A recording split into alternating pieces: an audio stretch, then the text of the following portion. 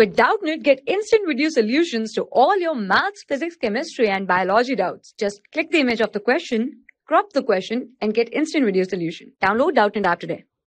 Hello, in this question given what is the change in internal energy if 10 joule of heat is given to system at a constant pressure and 20 joule of work is done by the system. So in this question we have to calculate the change in internal energy of a system when the 10 joule of heat is given to the system at a constant pressure and 20 joule of work is done by the system. So in this question we have to the given 10 joule of heat is given to system.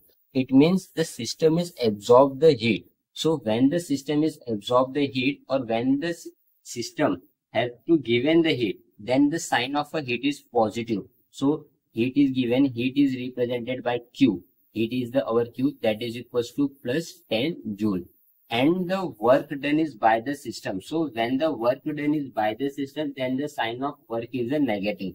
Then our work W that is equals to minus 20 joule because work done is by the system and when the work done is by the system, then the sign of work is a negative. We have to calculate the change in internal energy.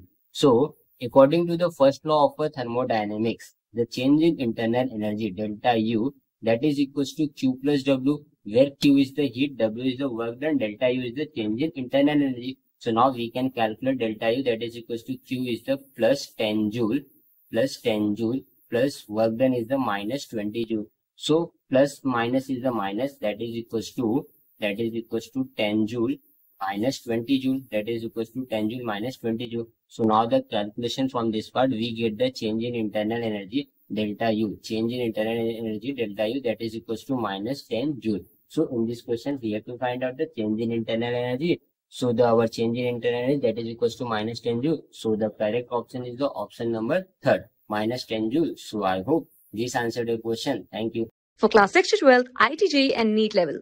Trusted by more than 5 crore students. Download Doubtnut app today.